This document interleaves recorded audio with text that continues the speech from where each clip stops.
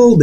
And sa video na to, pag-usapan natin yung mga requirements na dapat mong isubmit sa pag-apply ng working visa dito sa Japan. Hi guys, this is Alan. Welcome back to this channel, Gaijin World. Actually, merong question tayo dito from student naging working visa. Paano daw i-convert yung kanyang visa from student to working? Ayan. Simulan na natin tong video na to. According kay Precious Joy German, Hello sir, ask ko lang po, for changing visa from student visa to humanities, need pa din po ba na ipasa sa immigration ang remittance receipt ng sponsor ko? Cash po kasi na-receive ko, then diniposit ko po ito sa JP Bank ko tapos bank transfer sa school for tuition fee. Thank you so much sa comment mo. So kung mag-change ka from student visa to working visa, let's say in your case ay humanities, uh, actually mahaba yung title na yan. Engineer slash specialist in humanities slash international services. Kung mag-change ka from student, katulad ko din, nag,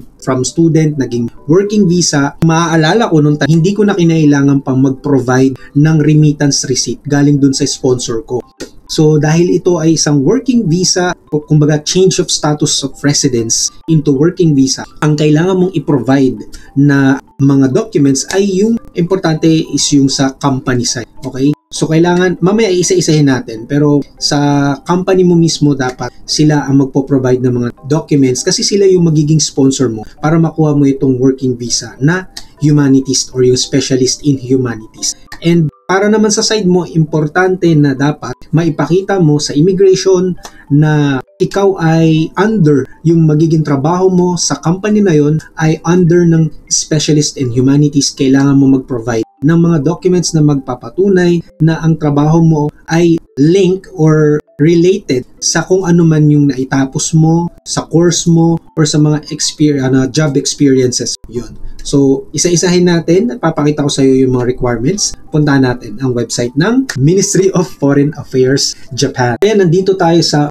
Ministry of Justice dito sa Japan. Ayan. So, kung ikaw ay magiging uh, Engineer Specialist in Humanities International Service, ang uh, gagawin mong paghahanda ay nandito sa website na ito. Ilalagay ko to sa description box. So puntahan natin yung application for change of status of residence kasi ito yung sa case mo, 'di ba? Magchi-change ka from student to working visa. So pag kinik natin 'yan, pupuntahan tayo dito sa categories. Sa nakikita niyo sa inyong screen, merong apat na category dito. Ayan. So itong apat na category na to, ang ibig lang sabihin niyan, yung company na mag-hire sa inyo for this kind of visa, under saang category sila dyan nagfo-fall. Okay, category 1 ba sila? Makakast ba sila as uh, ang type ba ng kanilang organization or company is nasa category 2 or category 3 or category 4. So imagine niyo na lang yung uh, enterprise, yung mga sobrang lalaking mga companies dito sa Japan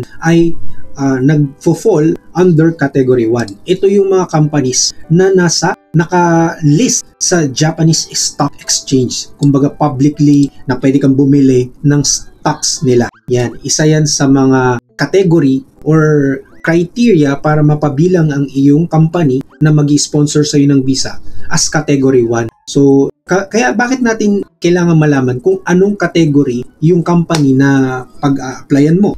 Kasi sa bawat category na to nakalagay dyan kung ano yung mga documents na kailangan mong isubmit sa immigration. So sa case ko, um, yung company na yung company na pinapasukan ko ngayon dito sa Japan ay nagfo-fall under category 1 kasi listed siya sa Japanese Stock Exchange. Kapag listed siya sa Japanese Stock Exchange ay mas kakaunti na lang yung mga documents na kailangan mong i-provide. So yun na nga, yung company na pinagtatrabahuhan ko ngayon ay kapabilang siya or under siya ng category 1 kasi ang company na yon ay listed sa Japanese Stock Exchange. So, ibig sabihin, mas kakaunti na yung mga documents na kailangan kong i-provide since listed naman siya sa Japanese Stock Exchange. So, ibig sabihin, yung mga nasa under category 2 or category, category 3 and 4, mas marami kang ipoprovide na mga documents dyan. Kasi yung, let's say, yung category 3 and 4, yan yung mga small, uh, medium size na mga companies So or yung mga bago pa lang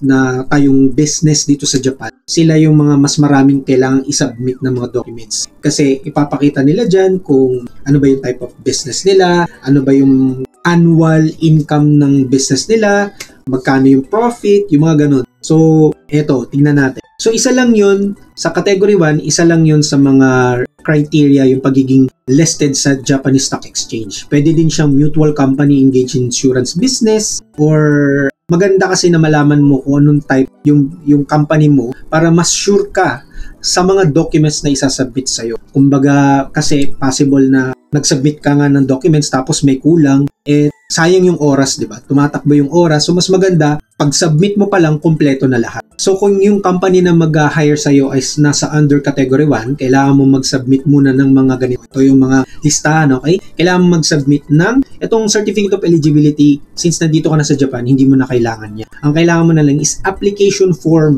Okay, application form at uh, nada-download din ito dito sa website ng uh, Ministry of Justice. So yung application form na yan ay hati yan. May dalawang page para sa'yo at dalawang page para doon sa company na mag-hire sa'yo. And then, kailangan mo maglagay din, mag-attach ka ng photo na mayroon yung specific standards, may sukat yan. And then, um, kailangan mo rin mag-provide nito under ng category 1, copy of quarterly report or a document certifying that the company is listed on a Japanese stock exchange. Yung sa akin, hiningi ko ito. Uh, hiningi ko sa company kung ano yung certification para mapatunayan na sila ay under ng Japanese Stock Exchange. Kaso yung ibinigay sa akin na document ay parang galing na sa newspaper tapos nakalagay doon yung stocks nila. So parang nakulangan ako doon, eh nahiya naman na akong mag-request pa ng mag-request kasi ang dami ko nang na-request sa kanila. Certificate of Employment, Certificate of uh, mga recommendation, yung mga ganyan. Kasi nga gusto kong maging pulido, kompleto, lahat ng masasubmit. So yun, para kung ang company mo ay listed sa Japanese Stock Exchange, pumunta ka lang sa Japanese Stock Exchange website ng Japan at uh, puntahan mo yung uh, website or yung code ng iyong company doon at nandun lahat ng mga documents na pwede mong ma-download yung profile ng company mo, lahat yon annual income nila, quarterly report, nandun lahat. Kaya, yun, yung isa yun sa mga tip. Kung ang company mo ay sa category 1. Yan. So, other than that, document certifying that the permission of, uh, for establishment has been received from the competent. So, hindi na to, hindi ko na hiningi yan kasi yung galing pa lang sa stock exchange website ay ano na yon enough na yon pero kung ang company mo ay nasa below category 2 or 3 or 4, yan, medyo mas marami. Kailangan nila mag-provide, let's say dito sa category 2, ayan, statutory records ng mga withholding slips for employees salary income uh, of for the previous re, uh, year. Kailangan nila mag-provide ng uh, gensen or yung withholding slip nila ng mga empleyado nila. And then, uh, ito, sa category 3, ayan, withholding slip din. And then, mas marami pa dito sa baba. For those who have graduated uh, from a vocational school or may, kung meron kang diploma, ayan, ipakita mo din yan. Mag-photocopy ka ng diploma mo kung ano natapos mo. Let's say, nakatapos ka sa Philippines or meron ka rin natapos dito sa Japan. Yan, isama mo yan. Mag-photocopy ka ng diploma certifying that you have been granted the title of diploma or advanced diploma then working based on a dispatch contract. Kung yung mag-hire sa iyo na company ay isang uh, dispatch, kumbaga i-deploy ka rin naman sa iba pang mga companies, kailangan nilang mag-provide ng activities Ayan, at the dispatch place, notification of working conditions such as employment contract. So, kailangan nilang magpakita ng mga ano yung talagang specific uh, job description mo na gagawin mo dun sa isang deployment place or yung dispatch place. Yan. So kung kung ikaw ay magiging uh, i-employ nila sa ibang mga kumbaga haken, haken yung style niya, agency yung style. Then ayun, the rest marami pa dito. So itong nandito sa 3 and 4, ito yung mga kailangan pang i-submit, mas marami, 'di ba? Dito sa uh, left side wala ka na makikita, tapos na agad, 'di ba? Pero ito kasi yung left side, yun yung category 1 and category 2. Then dito sa right side, ito yung category 3 and 4. So ayan, no, uh, Scroll down below, makikita mo nga for category 1 and 2, other materials are not required in principle. So, mas kakaunti yung mga isasubmit mong documents kung yung company na mag-hire sa'yo ay under ng category 1 and 2. Pero kung 3 and 4, ito katulad nito, sa 3 and 4, kailangan mag-submit ng certificate of registered matters. Uh, one of the following materials like a guidebook describes the detail of company's history, officers, organization, business content, ayan. copy of the financial statements for the most recent fiscal year.